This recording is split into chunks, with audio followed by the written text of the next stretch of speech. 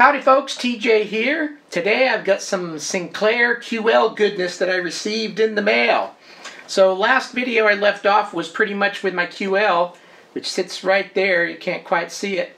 Uh, I booted it up for a first time, did an unboxing and all that, uh, but then thought best that I get those tapes refelted.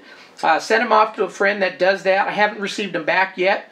Uh, so I've been just reading more about QL and trying to learn some ways that I'm going to be able to get some software on it because ultimately I want to use the QL and I want to enjoy some of the software. It's a little bit more difficult than some of the other platforms it seems on simple you know Mac, PC or Linux, you know computer and then quickly just copy something over and use it. It's a little bit more um, a little harder to do, I guess. Um, although there may be an easy way that I'm about to figure out. We'll see. But first step is first. Um, I had some options to look at. Some options on how am I going to put new media like uh, either SD card or some type of USB device, something that I can quickly plug into one of my more modern computers, download some stuff, and slap it on and use it on the QL. So some options out there were, I think, like a Tetroid device or the Gold Card device, which plugs into the left side of the um, QL as you're looking at it, and an expansion port over there that allowed you to have you know media that you would plug into it, and you could harness that media. Uh, another option I heard was like a QLSD uh, device, and I really didn't um, explore that one too much because the third one, which is the one I went with, seemed to be a, right up my alley, and it's called V-Drive, which is kind of neat that this V-Drive device, you know, could actually replace the QL uh, micro uh, cartridge drives, which I didn't want to do, but there was an option to externally connect it, and that's what we're going to show here. So let's open the box. This comes from a gentleman named uh, Charles Ingley. He's, I think, in New Zealand, where he's based. And so I had touch bases after I sent my uh, carts off to get refilled, saying, "Hey, I want to, you know, eventually get something. I need to save my pennies. I heard this V drive is kind of cool. What are my options?" And I basically, in in my email to him, said, "You know, I want to keep my QL stock in terms of not replacing out uh, the micro carts because I, I, do want to be able to use them if I want to. Um, so the V drive can also be used externally, uh, and um, so let's open the box. I took off my um, label, which had my address all written over it, because I don't want you guys all coming over my house, showing up one day for food or something and steal all my QL goodies. Nah, just joking. You're always welcome over here. We can have some beer and enjoy. So here's the box that it came in, and uh, on the very top of the box is a cable. And this cable is what's going to connect it externally. And I'm kind of glad I messaged him before it shipped because I had thought the cable came with it and it didn't. Uh, so he had to make one up for me and I sent him a little bit more money to get this special black little cable here. So there's the cable. I don't know if this is picking it up well or not, but anyway, it's a cable. it's a Kundus. Bubble wrap. Reason I'm doing this unboxing my office, by the way, is I've got my dining room table filled with Atari 2600 and Odyssey 2, and I'm going to be doing a video on playing another game. Empty box. Another box on top here. And I'm going to need to use my scissors. So inside, nice another little box. Let's slit her open. Cut anything under it, so I'm being careful. This thing's really light. Why did he send me some just bubble wrap? but it must be a light device. So on the top of the box, there's a little paperwork.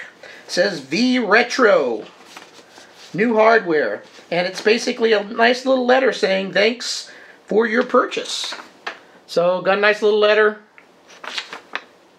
and it looks like he even signed it, Charlie. Thank you, Charlie. All right.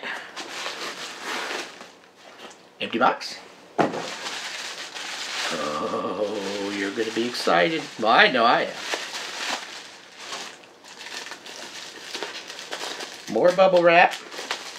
So he took very good care on packing this nicely. That's cool.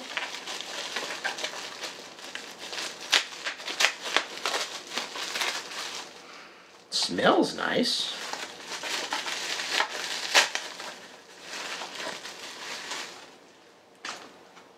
I have to look at it first before I show you.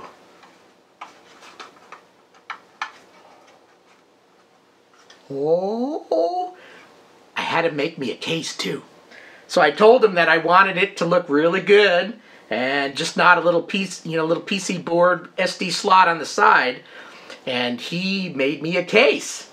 I don't know if this is something he can do for everybody uh, or it will become a common stocked item eventually.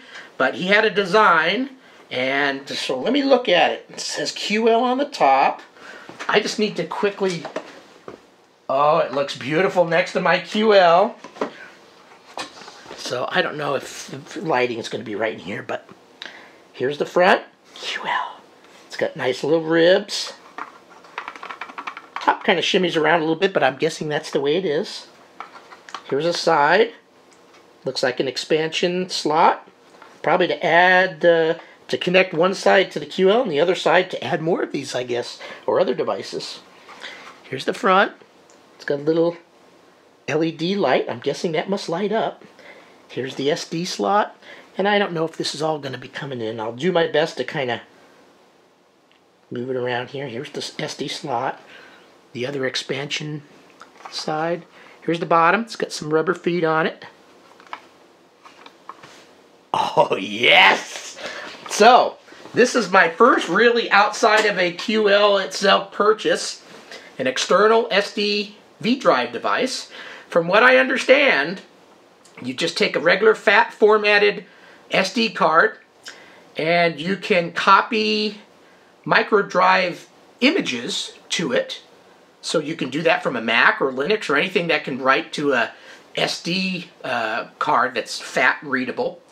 And these images are mountable on a QL just like it's a micro card. So it's not super large files, but anything that fits on a regular micro cart type of device will work on this, which is perfect, I think, for me, what I'm trying to do. I'm going to add other expansions later, like probably the gold card or super gold card, and then that gives me even more options. But this one, I think, as a starting point is going to be cool. There's a program called QemuLator. It's not free. I think you can download it and use it and test it free, but then I think it's $35 to get a license for it. From what I understand, it's a QL environment that you can do on Windows or a Mac and easily create micro drive or micro cart images. So if I go and down, uh, you know, have some programs, I can create my own image, copy those programs to it, create a micro cart image if I'm understanding, put it on an SD card, stick it in here, and be able to use it. Also, Dilwyn, uh, popular in the QL community, has some done of uh, micro cart images that you can download and slap on an SD card and use them on the QL.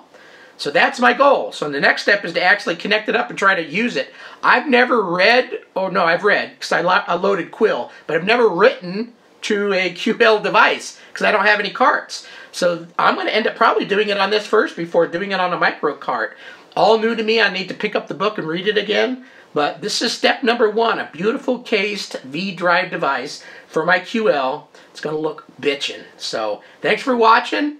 My next video will be me trying to use this and see if it works. Thanks for watching. See you later.